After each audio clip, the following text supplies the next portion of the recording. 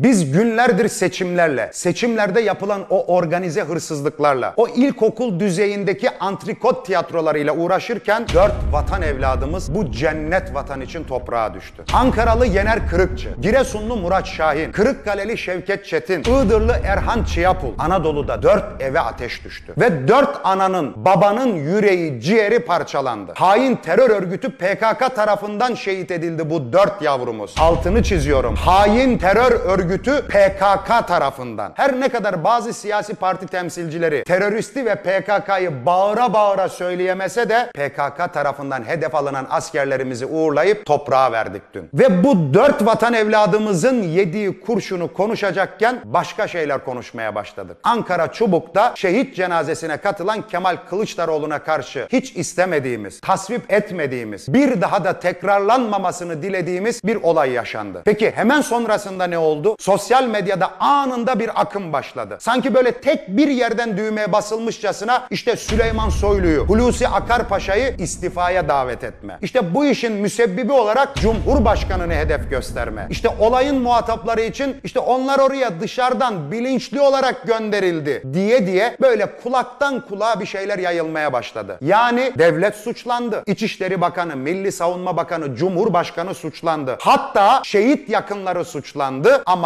bir tek dağdaki terörist suçlanmadı. Yani bu milletin ne oluyor ya? Baksanıza bunlar evlatlarımızı katletmeye devam ediyor. Bu PKK terör örgütü. Ve bu PKK'yı destekleyen partiler de işte huzur, barış, kardeşlik, bahar, işte güzel günler falan filan diye Birileri bir masaya oturup pazarlık mı yapıyor ya ne oluyor diye tam bakacakken milletimizin bakış açısı bir başka yöne mi çevrildi diye düşünürken şöyle hafızamızı bir tazeledik. Ve aklımıza Hacı Bektaşi veli törenlerine katılan dönemin Adalet Bakanı'na yumruk sallayan kişiyi CHP'li vekillerin koltuğun altına alıp koruduğu zamanlar geldi. Kocatepe Camii'nde o Cumhuriyet mitingleri organize edilirken şehit cenazesine katılan o dönemin başbakan yardımcısına saldıranları alkışlayanlar da geldi aklımıza. Sonrasında dönemin Enerji Bakanı Taner Yıldız'ın burnunun kırılması ve sonrasında da Cumhurbaşkanımızın bu konuyu kapatalım. Şehidin naaşına ve ailesinin acısına saygı adına sessiz kalmalıyız. Değişi de geldi aklımıza. Tüm bunların yanında birileri bizi Alzheimer zannediyor galiba. Hiçbir şeyi görmediğimiz kör zannediyor bizi galiba. Ortalıkta sürekli işte toplumu germeyin, yok işte dilinizi, söylemlerinizi biraz yumuşatın, işte değiştirin, birleştiricilik,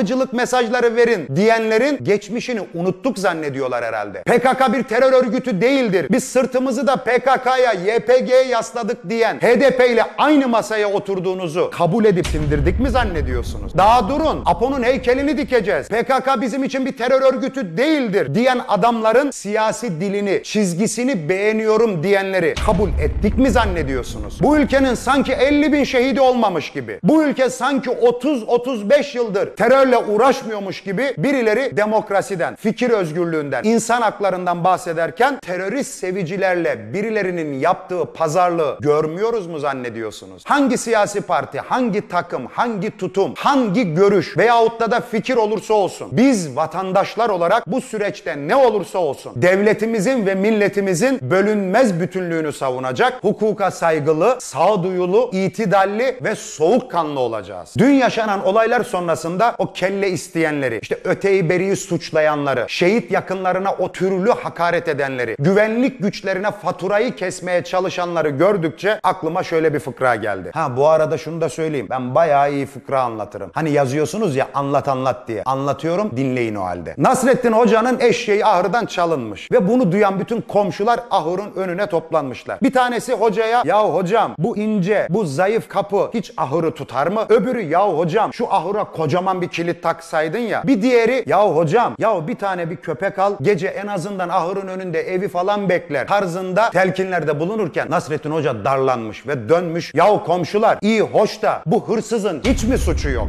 Anladınız? Kalın sağlıcakla.